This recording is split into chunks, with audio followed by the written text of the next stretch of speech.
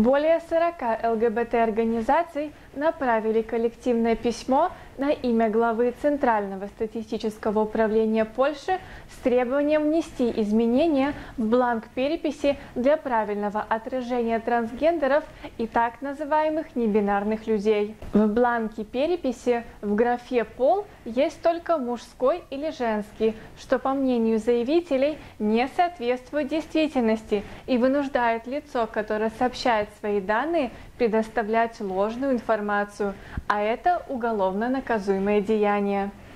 Также есть претензии к разделу о семейном положении, где нет возможности указать сведения об однополых браках, которые в Польше запрещены, и поэтому такие лица опять-таки вынуждены предоставлять ложную информацию. Целью переписи должен быть полный сбор информации о демографической ситуации в Польше – это невозможно, если трансгендеры, а в том числе не бинарные, остаются исключениями, говорится в заявлении.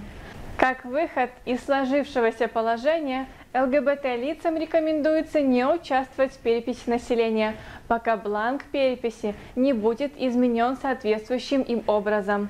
Общенациональная перепись населения стартовала в Польше 1 апреля 2021 года. Ответа на данное обращение глава статистического управления еще не предоставил.